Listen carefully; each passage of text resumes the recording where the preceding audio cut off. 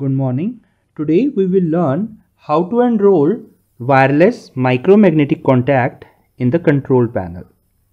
So press 1, 2, 3, 4 on the keypad.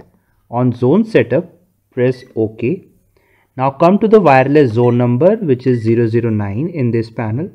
On not use screen, press the reset button one time. Learning will start. Now press and hold this button for 3 to 5 seconds and leave it. So as you can see here contact is written. So my sensor is enrolled. Now press OK. So it has taken the entry exit 1 zone type. That's all you need to do. Now exit out from the programming. Thank you.